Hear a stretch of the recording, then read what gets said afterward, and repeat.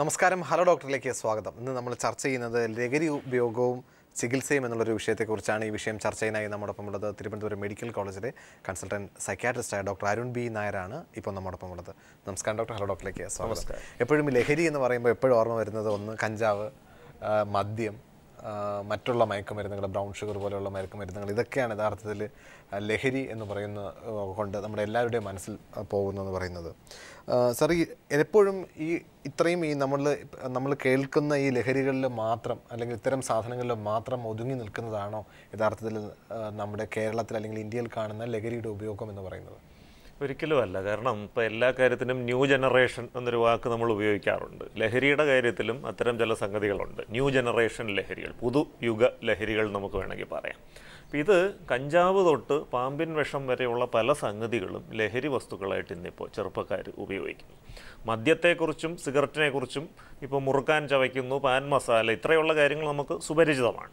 പക്ഷേ ഇപ്പോൾ ഏറ്റവും കൂടുതലായിട്ട് കഞ്ചാവിന്റെ ഉപയോഗമാണ് ഏറ്റവും കൂടുതലായിട്ട് ഇപ്പോൾ കണ്ടുവരുന്നത്. ഇപ്പോൾ എറണാകുളം നഗരത്തിൽ ആരോഗ്യവകുപ്പ് തന്നെ നടത്തിയ ഒരു സർവേയിൽ ബോധ്യപ്പെട്ടത് കോളേജ് വിദ്യാർത്ഥികളിൽ ഒന്നാം ദശാംശം ഏഴ് ശതമാനം ഹൈസ്കൂൾ വിദ്യാർത്ഥികൾ ദശാംശം ആറ് ശതമാനവും കഞ്ചാവ് ഉപയോഗിക്കുന്നുണ്ടെന്നാണ്.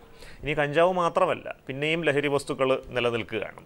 ശരിക്കും പറഞ്ഞാൽ ഇപ്പോൾ കുറച്ച് നാൾ മുൻപ് എറണാകുളത്ത് തന്നെ ഒരു ചലച്ചിത്ര താരം ഒരു പ്രത്യേക ലഹരി വസ്തു ഉപയോഗിച്ചത് വാർത്തയായിരുന്നു കൊക്കെയിൻ എന്ന് പറഞ്ഞ ഒരു ലഹരി വസ്തുവാണ്. അപ്പോൾ ഈ കൊക്കെയിൻ എന്ന് പറയുന്നത് ഇപ്പോൾ വെളുത്ത നിറത്തിലുള്ളൊരു പൊടിയാണ്. അത് വലിക്കുന്ന രീതിയിൽ ഉപയോഗിക്കാം ഇഞ്ചക്ഷൻ രൂപത്തിൽ ഉപയോഗിക്കാം. വളരെ ഗൗരവ സ്വഭാവമുള്ള പാർശ്വഫലങ്ങൾ ഉള്ള ഒരു ലഹരി വസ്തുവാണ്. ഇനി എക്സ്റ്റസി എന്ന് പറഞ്ഞ മറ്റൊരു ലഹരി വസ്തുവുണ്ട്. എം ഡി എം എ എന്നതാണ് അതിന്റെ ശാസ്ത്രീയ നാമം. അതും പ്രത്യേക രീതിയിലുള്ള വിഭ്രാന്തി അവസ്ഥകൾ സൃഷ്ടിക്കാൻ പ്രാപ്തമായൊരു ലഹരി വസ്തുവാണ്. ഹാലൂസിനോജൻ എന്ന് പറയുന്ന വിഭാഗത്തിൽപ്പെട്ടൊരു സംഗതിയാണ്. ഇനി ഈ സ്കൂൾ വിദ്യാർത്ഥികളടക്കമുള്ള ആളുകൾ പശ വൈറ്റ്നർ പെട്രോൾ ഇത്യാദി പല സംഗതികളും നിരന്തരം മണപ്പിക്കുന്നു. ഇപ്പോൾ ഈ എന്തിനു പറയണം? ചില ഇൻഹെയിലറുകൾ പോലും ഇങ്ങനെ ആവർത്തിച്ച് ആവർത്തിച്ച് മണപ്പിക്കുകയും അതില്ലാതെ മുന്നോട്ട് പോകാൻ പറ്റാത്ത അവസ്ഥയും വരുന്ന ഒരു രീതിയിലേക്ക് വരുന്നുണ്ട് എന്നുള്ളതാണ് സത്യം. അപ്പോൾ ഇത് ഒന്നും പോരാതെ ഇപ്പോൾ തീവ്രമായ ലഹരികൾ എന്ന് പറയുന്ന സംഗതികളുണ്ട്. ഇഞ്ചക്ഷൻ രൂപത്തിലുള്ള മയക്കുമരുന്നുകൾ ഇപ്പോൾ ഹെറോയിൻ എന്നൊക്കെ പറയുന്ന ഓപ്പിയോയിഡ് വിഭാഗത്തിൽപ്പെട്ട ഈ മരുന്നുകൾ വളരെ തീവ്രമായ അടിമത്തം ഉണ്ടാക്കുന്ന സംഗതികളാണ്. ഒരു പ്രാവശ്യം അത് ഉപയോഗിച്ചാൽ തന്നെ അതില്ലാതെ കഴിയാൻ പറ്റാത്തൊരു അവസ്ഥയിലേക്ക് വരാം. ഇനി ഇതും ഇതും കഴിഞ്ഞിട്ട് അടുത്ത ഒരു ഘട്ടം. ഇപ്പോൾ നാക്കിന്റെ താഴെ പാമ്പിനെ കൊണ്ട് കുത്തിക്കുന്ന ഒരു ശീലം വരെ ചില ആളുകൾ അത് വളരെ കഠിനമായ ലഹരികളൊക്കെ ഉപയോഗിച്ച് അതൊക്കെ ഉപയോഗിച്ചിട്ട് ഒരു തൃപ്തി കിട്ടാതെ വരുമ്പോൾ പാമ്പിനെ കൊണ്ട് കുത്തിക്കുന്ന ഒരു അവസ്ഥയിലേക്ക് വരെ കാര്യങ്ങൾ വരികയാണ്. ഇപ്പോൾ ചെറുപ്പക്കാരുടെ ഇടയിൽ ഈ പുതുയുഗ ലഹരികളുടെ ഉപയോഗം വളരെ കൂടി വരുന്നു എന്നുള്ളതാണ് അടുത്ത കാലത്തെ അനുഭവം. തീർച്ചയായിട്ടും. സാർ നേരത്തെ പറഞ്ഞു കഞ്ചാവ് മുതൽ പാമ്പിൻ വിഷം എന്ന് പറയുന്ന ഒരു വലിയ റേഞ്ച് തന്നെ സാർ പറഞ്ഞു. അപ്പോൾ ഈ പാമ്പിൻ വിഷം പലപ്പോഴും പത്രങ്ങളിലൊക്കെ കേട്ടിട്ടുണ്ട്. പാമ്പിൻ വിഷം മാർക്കറ്റുകളിൽ വളരെയേറെ എക്സ്പെൻസീവ് ആയിട്ടുള്ള ഒന്നാണ്. രണ്ട് അത് സൂക്ഷിക്കുന്നത് പോലും ക്രിമിനൽ കുറ്റമായിട്ട് നിലനിൽക്കുന്നുണ്ട്. അപ്പോൾ ഈ പാമ്പിൻ വിഷം എങ്ങനെയാണ്? അത് അത് എത്രത്തോളം നമ്മുടെ ജനങ്ങൾക്കിടയിലേക്ക് അത് വന്നിട്ടുണ്ട്? ഈവൻ പുറം രാജ്യങ്ങളിലാണോ അതിന്റെ ഉപയോഗം കൂടുതൽ? ഇത് ശരിക്കും പറഞ്ഞാൽ ഈ ലഹരിയുടെ മായിക വലയത്തിലേക്ക് അങ്ങ് മുങ്ങിത്താണ് പലതരം ലഹരി വസ്തുക്കളും പരീക്ഷിച്ച് വളരെ സീസൺഡായ ആളുകൾ. ഈ മേഖലയിലെ വളരെ സീനിയേഴ്സ് എന്ന് പറയുന്ന ആളുകളാണ് ഈ പാമ്പിൻ വിഷത്തിന്റെ ലെവലിലേക്ക് പോകുന്നത്. കാരണം മറ്റു പല ലഹരി വസ്തുക്കളും ഉപയോഗിച്ച് അതുകൊണ്ടൊന്നും തൃപ്തി കിട്ടാതെ വരുമ്പോഴാണ് ഈ അവസാനത്തെ ഒരു റിസോർട്ടായിട്ട് ഇത് ഇത് വളരെ അപകടകരമായ ഒരു സംഗതിയാണ്. കാരണം പാമ്പിൻ വിഷം എന്തായാലും ശരീരത്തിനകത്ത് പ്രവേശിച്ചാൽ അത് ജീവഹാനി വരെ വരുത്താൻ പ്രാപ്തമായ ഒന്നാണ്. അതിനെ പ്രത്യേക മേഖലകളിൽ അത് കൊത്തിക്കുമ്പോഴത്തേക്ക് അത് ഒരു വല്ലാത്തൊരു ലഹരി അനുഭവം ഉണ്ടാകുന്നു എന്നാണ് ഉപയോഗിക്കുന്ന ആളുകളുടെ ഒരു സാക്ഷ്യം. പക്ഷേ ഈ പാമ്പ് എന്ന് പറയുന്ന ജീവി നമ്മൾ ഉദ്ദേശിക്കുന്ന പ്രദേശത്ത് തന്നെ കൊത്തണം ആ തീവ്രതയിൽ തന്നെ കൊത്തണം നമുക്ക് നിർബന്ധിക്കാൻ പറ്റില്ല. പാമ്പ് അതിന്റെ സൗകര്യമനുസരിച്ച് അതിന്റെ വിഷത്തിന്റെ ഉപയോഗം നടത്തിയെന്നിരിക്കും. വളരെ അപകടകരമായ ഒരു സംഗതി. ജീവൻ വരെ നഷ്ടപ്പെടുത്താൻ സാധ്യതയുള്ളൊരു വളരെ അപകടകരമായ ഒരു ശീലമാണ്. ഇപ്പോൾ വിദേശ രാജ്യങ്ങളിൽ ഈ ചില ക്ലബ്ബുകൾ പോലെയുള്ള ചില സംവിധാനങ്ങളുണ്ട്. ഈ ലഹരികളെല്ലാം യഥേഷ്ടം ഉപയോഗിക്കുന്ന ആളുകളുടെ കൂട്ടായ്മകളാണ്. അപ്പം അത്തരത്തിലുള്ള ചില സംസ്കാരങ്ങൾ നമ്മുടെ നാട്ടിലും ചെറുതായിട്ടൊക്കെ കേട്ട് തുടങ്ങിയിട്ടുണ്ട് എന്നുള്ളതാണ് നമ്മളെ പേടിപ്പിക്കുന്ന ഒരു വസ്തുത. സർ ഈ യങ്സ്റ്റേഴ്സ് ചെറുപ്പക്കാർ ഏറ്റവും കൂടുതൽ കേരളത്തിൽ ഉപയോഗിക്കപ്പെടുന്നത് കഞ്ചാവാണ് എന്നുള്ളതൊരു ഒരു ഒരു ധാരണ നമ്മുടെ നമ്മുടെ ജന നമ്മുടെ പ്രേക്ഷകർക്കിടയിലേക്കുണ്ട്. ഈ കഞ്ചാവ് അത്രയേറെ പോപ്പുലർ ആണോ കേരളത്തിൽ ഡോക്ടർ പലപ്പോഴും ഡോക്ടറുടെ അടുത്തേക്ക് വരുന്ന പേഷ്യൻസ് അല്ലെങ്കിൽ വരുന്ന ആൾക്കാർ ഏത് തരം ആൾക്കാരാണ് ഡോക്ടറെ കാണാനായിട്ട് വരിക? കഞ്ചാവിന്റെ ഉപയോഗവുമായിട്ട്. ഈ കഞ്ചാവിന്റെ ഉപയോഗം ഏറ്റവും കൂടുതലായിട്ട് ഈ വിദ്യാർത്ഥി വിഭാഗത്തിലാണ്. പ്രത്യേകിച്ച് കോളേജ് വിദ്യാർത്ഥികൾ ആ ഒരു ഗ്രൂപ്പാണ് ഏറ്റവും കൂടുതലായിട്ട് കഞ്ചാവ് ഉപയോഗിക്കുന്നവരായിട്ട് ഞങ്ങളുടെ അടുത്ത് വരുന്നത്. ഇപ്പോൾ കഞ്ചാവ് ഉപയോഗിക്കുന്നത് കോളേജ് വിദ്യാർത്ഥികൾ മാത്രമല്ല ഹൈസ്കൂൾ വിദ്യാർത്ഥികളും അപൂർവമായിട്ട്. ചിലപ്പോൾ അമ്മമാരൊക്കെ തന്നെ ഇവർ കഞ്ചാവ് ഉപയോഗിക്കുന്നതായിട്ട് കണ്ടെത്തിയിട്ട് കൊണ്ടുവരാറുണ്ട്. അധ്യാപകർ ഇവരുടെ പെരുമാറ്റത്തിലെ വ്യത്യാസങ്ങൾ കണ്ടിട്ട് കൊണ്ടുവരാറുണ്ട്. അപ്പോൾ ഈ കഞ്ചാവ് പോലത്തെ ഒരു സംഗതി ഇത്രയും ജനപ്രിയമാവാനുള്ളൊരു കാരണം ഒരുപക്ഷെ ഈ കഞ്ചാവിനെക്കുറിച്ച് നിലനിൽക്കുന്ന ചില തെറ്റിദ്ധാരണകളാണ്. പല കലാകാരന്മാരും സംഗീതജ്ഞന്മാരും ഒക്കെ കഞ്ചാവിന്റെ ഉപയോഗം അവർക്കുണ്ടാക്കിയ നേട്ടങ്ങളെക്കുറിച്ചും മറ്റുമൊക്കെ ആത്മകഥാപരമായിട്ടുള്ള നിറം പിടിപ്പിച്ച പല വർണനകളും. ഇപ്പോൾ പ്രശസ്ത സംഗീതജ്ഞനായ ബോബ് മാർലി തന്നെ പറഞ്ഞൊരു വാചകമുണ്ട് കഞ്ചാവാണ് എന്നിലെ എന്നെ തിരിച്ചറിയാൻ സഹായിച്ചതെന്നൊക്കെ. വളരെ തെറ്റായ ഒരു സ്വാധീനമാണ് ഇത്തരത്തിലുള്ള പല സംഗതികളും ഈ വിദ്യാർത്ഥി സമൂഹത്തിന്റെ പുറത്ത് ഉണ്ടാക്കിക്കൊണ്ടിരിക്കുന്നത് അപ്പോൾ കഞ്ചാവ് ഉപയോഗിച്ചാൽ സർഗാത്മകത കൂടും എന്നുള്ള ഒരു തെറ്റിദ്ധാരണ നിലവിലുണ്ട്. ഒരിക്കലും ശരിയല്ല. ഈ സർഗാത്മകതയെ ഉത്തേജിപ്പിക്കാൻ ഒരുപാട് സ്വാഭാവികമായ മാർഗങ്ങളുണ്ട്. ഈ കഞ്ചാവ് ഉപയോഗിച്ച് കഴിഞ്ഞാൽ തുടക്കത്തിൽ ഒരു ചെറിയ ഒരു ഉത്തേജനം ലഭിക്കുന്ന പോലെ ഒരു തോന്നൽ ഉണ്ടാവുമെങ്കിലും കുറച്ച് കഴിയുമ്പോൾ നമ്മുടെ സർഗാത്മകത നശിക്കുകയും നമ്മുടെ ഓർമ്മയും ബുദ്ധിയും ഒക്കെ താളം തെറ്റുകയും ചെയ്യുന്നൊരവസ്ഥയാണ് വരുന്നത്. പലപ്പോഴും ഈ കഞ്ചാവിന്റെ ഉപയോഗം കഞ്ചാവ് ഉപയോഗിക്കുന്നത് മൂലം them നമുക്ക് ഈ തലച്ചോറിലെ ഡോപ്പമിൻ എന്നൊരു രാസവസ്തു ഉണ്ട് ഇതാണ് ആഹ്ലാദത്തിന്റെ അടിസ്ഥാനമായിട്ടുള്ള രാസവസ്തു. ഈ ഡോപ്പമിന്റെ അളവിൽ വല്ലാത്ത ഒരു വർധനവുണ്ടാവും. അപ്പോൾ അധികമായാൽ അമൃതം വിഷം എന്ന് പറയുന്ന പോലെ ഡോപ്പമിനും ഒരു പരിധിയിൽ കൂടുതൽ ഉയർന്നു കഴിഞ്ഞാൽ അത് മാനസിക വിഭ്രാന്തികൾക്ക് കാരണമാകാം. അപ്പോൾ സ്ഥിരമായി കഞ്ചാവ് ഉപയോഗിക്കുന്ന ഒരാൾ അല്ലെങ്കിൽ വലിയ അളവിൽ കഞ്ചാവ് ഉപയോഗിക്കുന്ന ഒരാളിന് ചിലപ്പോൾ ചെവിയിൽ അശരീര ശബ്ദങ്ങൾ മുഴങ്ങുന്നു. ആരൊക്കെയോ പേര് ചൊല്ലി വിളിക്കുന്ന പോലെയുള്ള അശരീരികൾ ചെവിയിൽ മുഴങ്ങുന്നു. ആരോ തന്നെ കൊല്ലാൻ വരുന്നു എന്ന മട്ടിലുള്ള ഭയങ്ങൾ തോന്നുന്നു. അപ്പോൾ ഈ ഒരു അവസ്ഥയെ കന്നാബിസ് ഇൻഡ്യൂസ്ഡ് സൈക്കോസിസ് കഞ്ചാവ് ജന്യ മനോവിഭ്രാന്തി എന്ന് പറയുന്ന ഒരു മാനസിക രോഗമാണ്.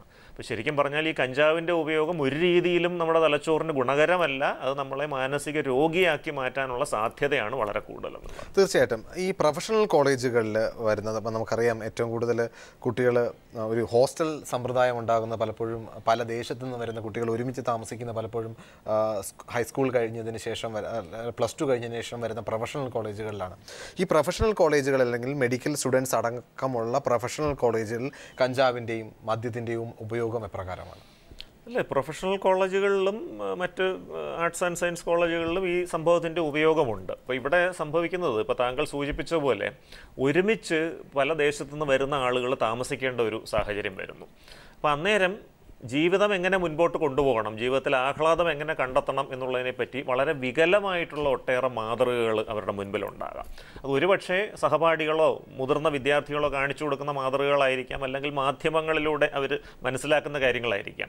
ഇതാണ് വല്ലാത്ത രീതിയിലുള്ളൊരു അപകടത്തിലേക്ക് കാര്യങ്ങൾ കൊണ്ടെത്തിക്കുന്നത്. പണ്ട് കാലത്ത് കഴിഞ്ഞൊരു തലമുറയിലൊക്കെ ഈ വിദ്യാർത്ഥികൾ ഒരു കൂട്ടം ചേർന്ന് പലതരത്തിലുള്ള സംഘടിത പ്രവർത്തനങ്ങൾക്ക് മുന്നിട്ടിറങ്ങിയിരുന്നു. ജീവകാരുണ്യ പ്രവർത്തനങ്ങൾ അടക്കമുള്ള കാര്യങ്ങൾക്ക് അല്ലെങ്കിൽ കലാപരമായ കാര്യങ്ങൾക്കൊക്കെ ഇവർ ഒരുമിച്ച് ചേർന്ന് മുന്നിട്ടിറങ്ങുന്ന ഒരു ശീലമുണ്ടായിരുന്നു. പക്ഷേ ഇപ്പോൾ നമ്മുടെ ലോകം എന്ന് പറയുന്ന ഒരു കൃത്രിമ ലോകം അല്ലെങ്കിൽ ഈ ലോകം സൈബർ ലോകം എന്ന് പറയുന്ന രീതിയിലേക്ക് ചുരുങ്ങുകയാണ്.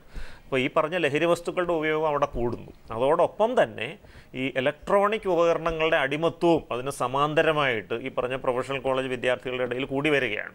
ഇന്റർനെറ്റ് അടിമത്വം മൊബൈൽ അടിമത്വം അല്ലെങ്കിൽ സൈബർ പോൺ അടിമത്വം തുടങ്ങിയ സംഗതികളും ഇതിന് സമാന്തരമായിട്ട് കൂടുകയാണ്. അപ്പോൾ ശരിക്കും പറഞ്ഞാൽ ഒന്നുകിൽ ലഹരി വസ്തുക്കൾ അല്ലെങ്കിൽ ഏതെങ്കിലും ഇലക്ട്രോണിക് ഉപകരണങ്ങൾ ഇങ്ങനെ ചുരുങ്ങിപ്പോകുന്ന ഒരു ജീവിതത്തിലേക്ക് യുവതലമുറ വരുന്ന ഒരു വളരെ മോശമായിട്ടുള്ളൊരു പ്രവണതയാണ് നമുക്കിന്ന് കാണാൻ കഴിയും പലപ്പോഴും ഈ ലഹരിയുടെ ഉപയോഗം പല ആൾക്കാരും തിരിച്ചറിയുന്നില്ല ഇവർക്ക് ഒരു മാനസികമായിട്ടുള്ള ഒരു പ്രശ്നത്തിലേക്ക് ഇത്തരം പ്രശ്നങ്ങൾ ചെന്ന് എത്തുമോ എന്നുള്ളത്. ഈ ലഹരി ഉപയോഗിക്കുന്ന കൂടുതൽ പേരും അവസാനം ഒരു മാനസിക രോഗിയായിട്ട് തന്നെ അവർ ചെന്നെത്തപ്പെടുമോ? അതാണോ സാധാരണഗതിയിൽ നടക്കുന്ന ഒരു കാര്യം?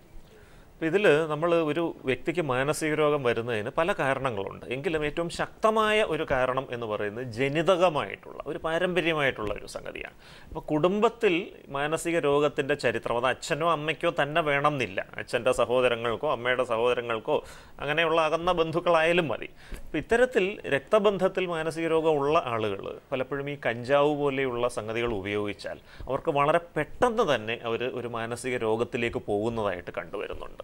ഇത് മാത്രമല്ല ഈ തലച്ചോറിന്റെ വളർച്ചയ്ക്ക് എന്തെങ്കിലും വൈകല്യങ്ങളുള്ള ആളുകൾ ബുദ്ധി വളർച്ച കുറവുള്ള ആളുകൾ അല്ലെങ്കിൽ തലയ്ക്ക് ആക്സിഡന്റിൽ പരുക്കേറ്റ് തലച്ചോറിന് ക്ഷതം സംഭവിച്ച ആളുകൾ അപസ്മാരം പോലെയുള്ള രോഗാവസ്ഥകളുള്ള ആളുകൾ ഇത്തരത്തിൽ തലച്ചോറിന് സ്വാഭാവികമായിട്ട് ചില ബലഹീനതകളുള്ള ആളുകളും ഈ ലഹരി വസ്തുക്കൾ കഞ്ചാവ് പോലത്തെ സംഗതികൾ ഉപയോഗിക്കുമ്പോൾ വളരെ പെട്ടെന്ന് മാനസിക രോഗത്തിലേക്ക് പോകുന്നു. പക്ഷേ എന്ന് വിചാരിച്ച് ഇത്തരം പ്രശ്നങ്ങൾ ഇല്ലാത്തവർക്ക് മാനസിക രോഗം വരത്തില്ല എന്ന് പറയാനും പറ്റില്ല. അവർക്കും മാനസിക രോഗ സാധ്യതകളുണ്ട്. അത് ഓരോ വ്യക്തികളുടെയും വ്യക്തിത്വം അനുസരിച്ച് പലതരത്തിലുള്ള മാനസികാരോഗ്യ പ്രശ്നങ്ങളാണ് ഈ കഞ്ചാവ് ഉപയോഗം ഉണ്ടാക്കുന്നത്.